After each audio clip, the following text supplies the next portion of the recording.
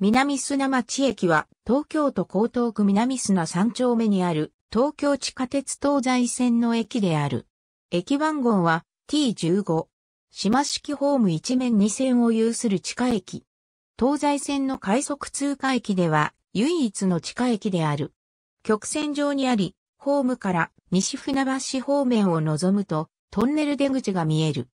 トンネルの出口に近く周辺の宅地化も進んでいるため、線路には地上区間の駅と同様に騒音を抑えるためのバラストが敷かれている。出入り口は西口に1箇所と東口に3箇所、計4箇所ある。エレベーターやエスカレーター、バスタクシー乗り場などは東口にあり、駅事務室は西口にある。東西線建設当時、この付近には、須崎川があり、当駅は川の直下に建設することから、地上からケーソン13基を沈下させて構築した。2015年6月5日から向谷実作曲の発車メロディを使用している。曲は1番線が A Day in the Metro、2番線が Beyond the Metropolis である。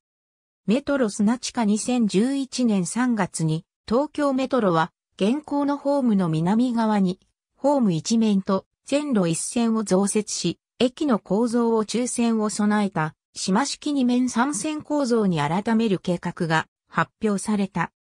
二面三線化工事が行われることにより、朝ラッシュ時間帯に中野方面行列車の相互発着を実施し、後続列車への遅延波及防止や異常時に当駅での折り返し運転を可能にし、普通区間の短縮を図るものである。この工事では、線路とホームの増設だけでなく、既存ホームの拡幅や現在ホームの両端の上階にある改札口を中央に移設するとともにコンコースを大幅に拡張する計画である。着工前の段階では2020年度完成予定とされていたが、後に2027年度完成予定へ変更されている。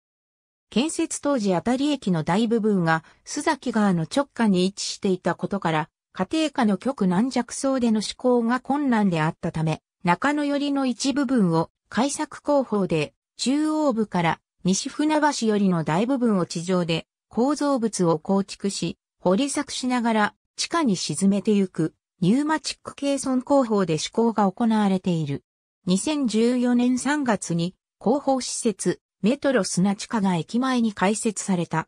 2019年度の1日平均乗降人員は6969人であり、東京メトロ全130駅中69位。東西線の駅としては23駅中第16位。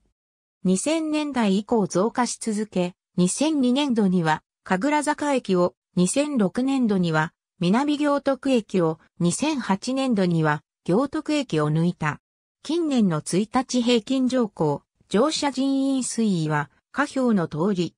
駅周辺では再開発が進行しており、オフィスビル、大型商業施設、マンション等が立地しているが、現在でも一部に未利用のという地等がある。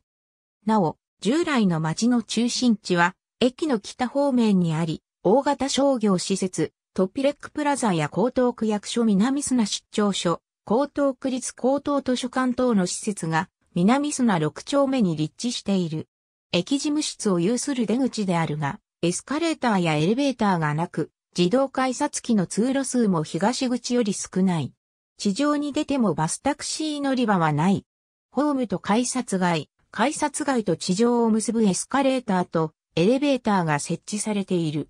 バス停留所やタクシー乗り場も設置され、徒歩5分圏内に複合商業施設や公共施設が存在する。こちらは西口よりも利用者が多い。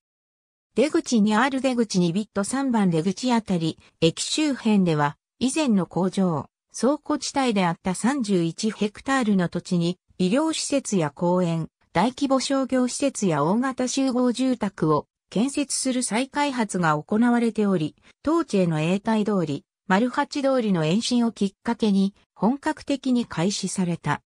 この計画により、対象地域の大部分を占める新砂三丁目は、変化し、南砂町ショッピングセンター砂もをはじめ、大規模高層住宅や医療、福祉の複合施設などが完成した。周辺の公園も再整備が進んでいる。この計画は一時変更や縮小などがあったが、前期したように2008年10月9日に3番出口から徒歩5分ほどの場所に三菱地所の大規模商業施設、スナモがオープンした。また、江東区の長期的な構想と位置づけられつつも、亀戸駅西大島駅南砂町駅から新木場駅間において LRT の新線計画も存在する。3番出口の駅前ロータリーに南砂町駅前停留所が設置されているほか、永代通り沿いに南砂町駅入口停留所が設置されている。西口からは徒歩4分ほどのところに日総京停留所がある。東京都交通局の公式サイトによると、このほか、南砂三丁目緑団地、学校通り、南砂六丁目停留所も、駅接続の扱いを受けており11番乗り場まであるが、駅前にある停留所は、下記の2カ所である。